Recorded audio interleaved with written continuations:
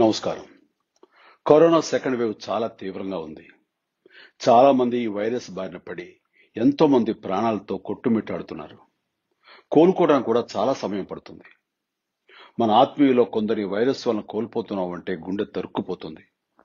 ఈ తప్పనిసరి పరిస్థితుల్లోనే తెలుగు రాష్ట్రాల్లో మళ్ళీ లాక్డౌన్ పెట్టారు. కనీసం ఇప్పుడైనా అలక్ష్యం చేయకుండా మనం కొన్ని జాగ్రత్తలు తప్పనిసరిగా పాటించాలి. ఇంటి నుంచి బయటికి రాకండి. ఒకవేళ లాక్డౌన్ సడలించిన వేళలో బయటకు వచ్చినా తప్పనిసరిగా మాస్క్ ధరించండి.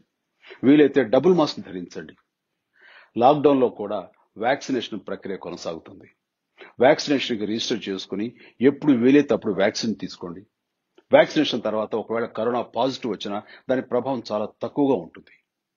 ఒకవేళ మీరు కోవిడ్ పాజిటివ్ అయినా దయచేసి ప్యానిక్ కావద్దు. వైరస్ కంటే మన భయమే మనల్ని ముందు చంపేస్తుంది. పాజిటివ్ అని తెలిసిన వెంటనే మిమ్మల్ని మీరు ఇతర కుటుంబ సభ్యుల నుంచి ఐసోలేట్ చేసుకుని డాక్టర్స్ పర్యవేక్షణలో ఉంటూ మందులు వాడండి. ఒంట్లో ఏమాత్రం నలతగా ఉన్నా అంటే ఊపిరి సమస్య అనిపించినా మరే ఇబ్బంది కలిగినా ఆ, వెంటనే డాక్టర్ సంప్రదించి అవసరమైతే సత్వర చికిత్స కోసం హాస్పిటల్ చేరండి. కరోనా నుంచి కోలుకున్న నెల రోజుల తర్వాత మీలో యాంటీబాడీస్ ఉత్పత్తి అవుతుంటాయి. మీరు ప్లాస్మా డొనేట్ చేస్తే కరోనా నుంచి కనీసం ఇద్దరిని కాపాడిన వాళ్ళు అవుతారు దయచేసి ప్లాస్మా డొనేట్ చేయండి.